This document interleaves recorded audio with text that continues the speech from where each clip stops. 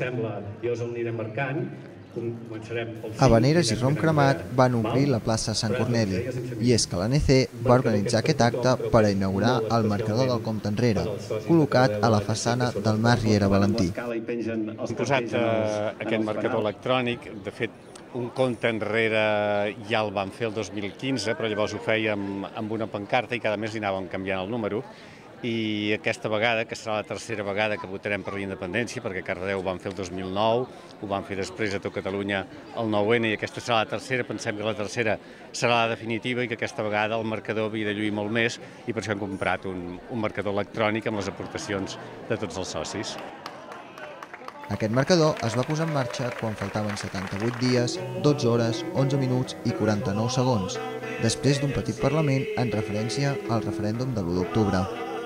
També van explicar que per preparar l'acte de l'11 de setembre vindrà a Cardedeu en Jordi Sánchez, president de l'Assemblea Nacional Catalana. El dia 20 farem un acte en el Centre Cultural, que vindrà un diputat del Parlament de Catalunya per parlar-nos de les garanties per la democràcia i el referèndum, i el 9 d'agost, aquí a la plaça Sant Corneli,